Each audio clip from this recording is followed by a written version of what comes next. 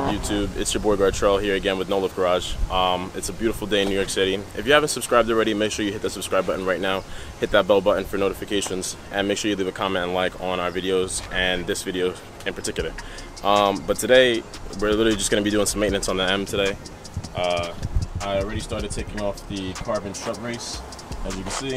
Um, I took off the uh, valence panels above the uh, strut brace. Gonna be removing the airbox, charge pipes, strut brace, and getting down to those spark plugs. I'll even show you how to gap them. I'll be showing you how to gap them with a feeler gauge. Uh, sorry that it's not clear. Anyway, if you're doing this job, you have this spark plug removal tool. It's a thin 14 millimeter 12 point socket. It is special. If you do not have this, you will not be able to complete the job. Make sure you have this before you start. Okay, so the first thing we're gonna have to do is remove these 10 millimeter nuts. There's one here and one here. Um, and then there's a flathead screwdriver piece right here to take this off. I've already unclipped the mass airflow sensor as you can see here. Um, and then the airbox will honestly just pop right out. Um, after that, we'll remove this pipe, also held on by a flathead and then we'll be able to access both charge pipes to take that off and then we'll get cracking on the strut brace.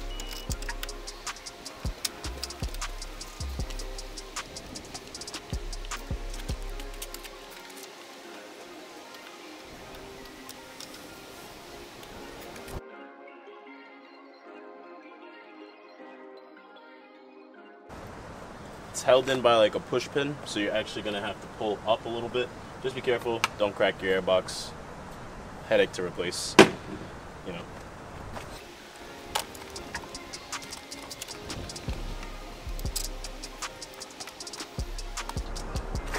And boom, airbox out. So this pipe actually wasn't even held on really tight. So I probably had a crazy boost leak.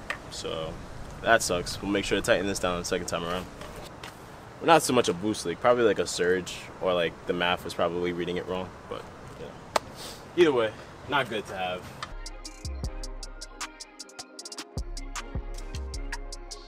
So for the Burger Motorsports uh, charge pipes, they didn't give you the same exact piece. I wish I had the bolt to show you, but they give you this they give you this like hex type of screw to place in, in, in that space instead. So I had to use an extension, a swivel, and I don't know what size this is exactly. It's in uh, 3 16ths. So unfortunately, I don't have the actual metric size, but 3 16ths, uh, Allen head, and the swivel, and extension, and a ratchet, and this comes right out. But obviously, you guys probably have the Torx bit one. Same thing, use the Torx bit, the uh, swivel, extension, ratchet, should.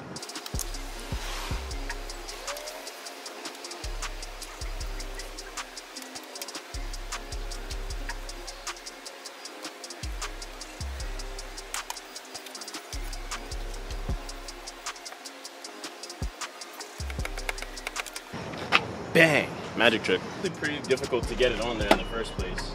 I'm not gonna lie. It took me like at least 15 minutes just to get those two screws in see how easy they come out, and I'm sure that doing it enough again will be easier to take them out. So now we're just using the flathead screwdriver to take these off. Can you see? Yeah.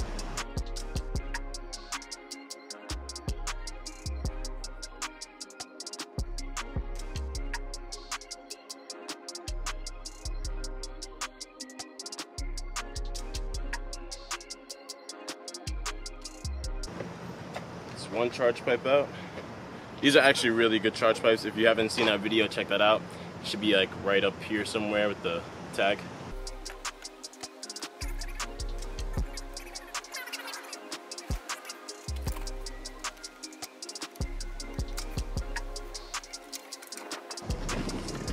Two charge pipes out. Again, check out the video. Okay, so now we're going to be removing the strut brace, which requires a little bit of parts. Obviously, we took off the uh, 3, 2, and 3 13 millimeter bolts for the uh, carbon fiber strut brace that I showed you.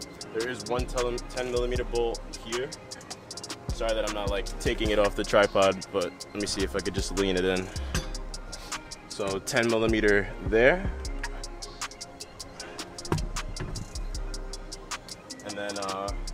Now we're gonna be taking off the valence clip. So I have a set of these uh, like plastic like clip removers. So you're gonna take off all these clips. There's uh, about one, two, three, four, five, six on top, and then this will come right off.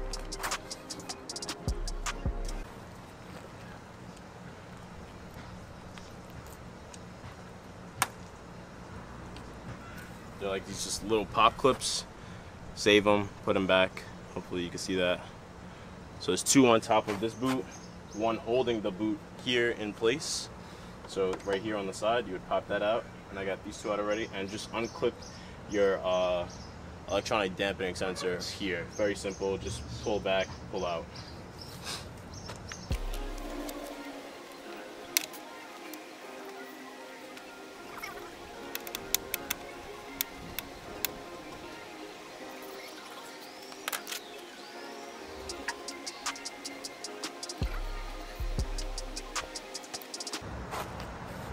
Okay, so this one has one on there too. Don't break this one. This obviously holds your uh, sensor in place. The boot comes uh, right off after that. Now we're gonna be hitting these Torx bolts. This is one, two, three, holding on the strut brace here, four here, five, a larger one, six here. Um, you will have to remove these two plastic clips and then there will be two bolts to lift this middle part of the uh, strut brace out. And we're going to do the same thing on the other side with the clips the rubber boots excuse me and the uh, Torx bits on top. So as I said again my battery's dying so hopefully we can get this done relatively quickly. Power tool and uh, the uh, Torx bit that you need for the six of them there's actually two different ones, two different keys, so make sure you keep them handy.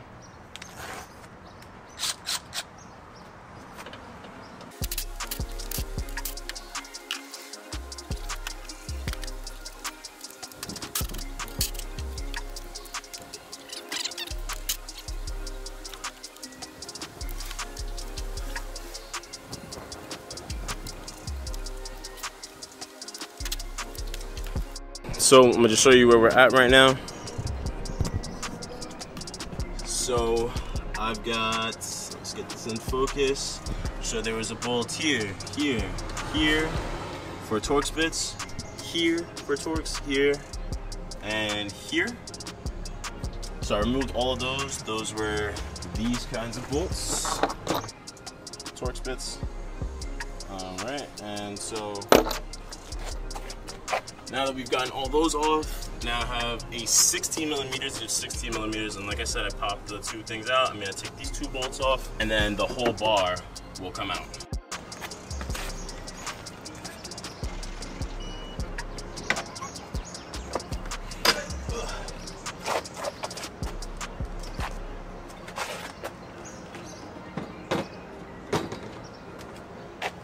Just a bit of M Performance extra.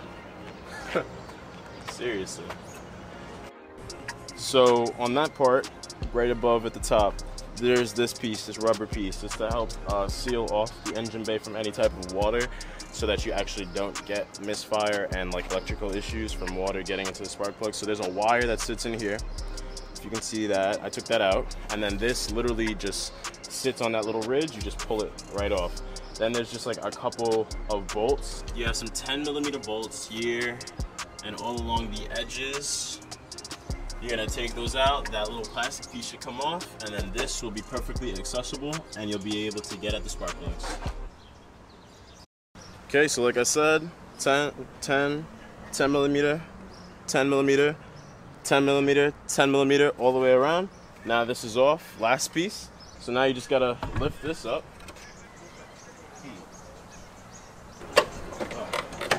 Has a pop clip. There's a pop clip on the bottom. That just one, I believe.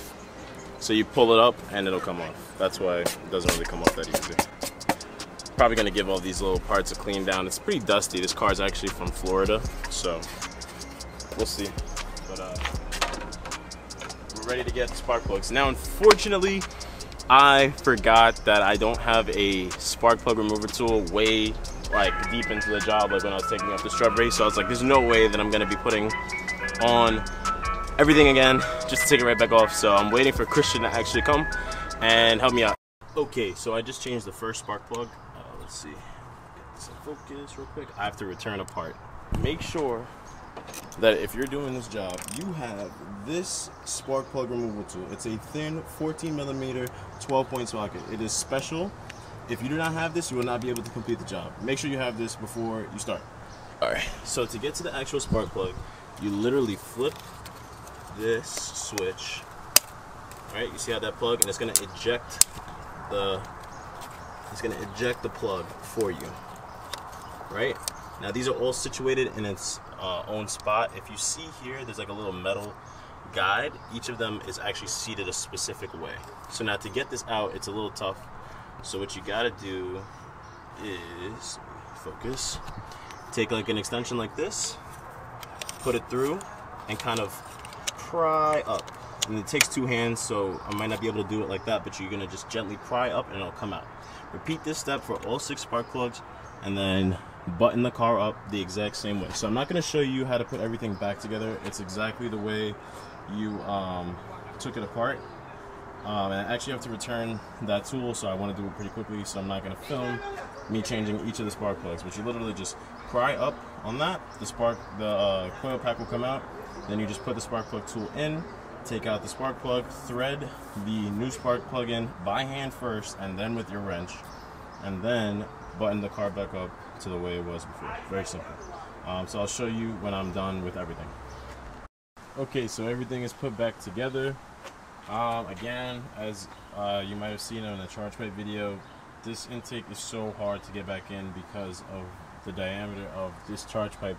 Um, again, the newer, the stock ones come flat, so it's easier to manipulate that and actually get it nice and tight. It's actually kind of loose still, but seeing it as the intake side, as long as it's all the way on and slightly tightened, it should be all right. Um, it's not going to have any blowback or anything like that that would actually blow it off or anything like that, I don't think. Um, so, with that being said, I haven't put back the top strut yet. Well, not the top strut. The uh, carbon fiber brace or the little valence panels on top. So, I'm just going to start the car first, make sure the car actually runs and drives before we put it all back together. Um, and then, yeah, so let's just go see. Okay, moment of truth.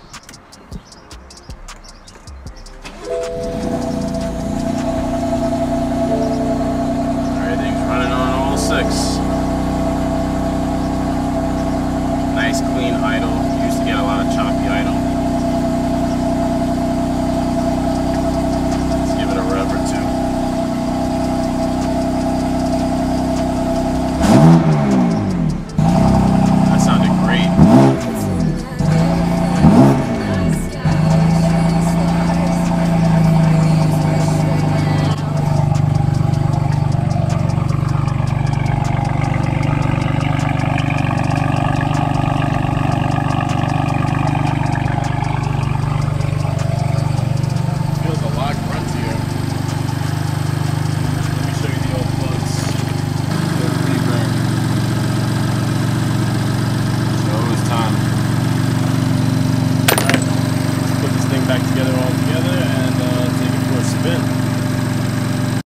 My battery actually died, um, and then I couldn't find the charger. So this is actually a day and a half later. Um, of having the spark plugs done. So I hope you guys enjoyed the video all in all. Um, it really isn't too difficult. If you know what you're doing, um, it'll be even easier. If it's your first time doing it, just take your time. Um, taking everything off the way I explained it and putting it back on the exact same way, it could probably take you maybe anywhere from I want to say one hour to two hours max. Make sure that you have that tool, the uh, 14 millimeter 12 point spark plug specific socket it will be a pain if you do not have it. I had to borrow it. I was lucky enough to borrow it. I gotta buy my own now.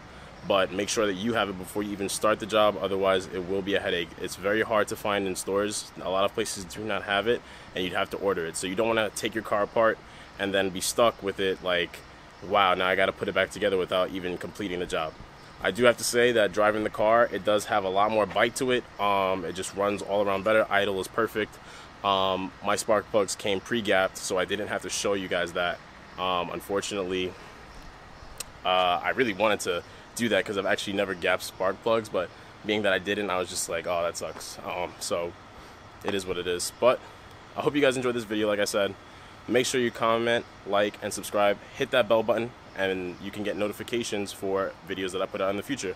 Um, again, make sure that you're doing everything you can to stay motivated, and peace out. See you.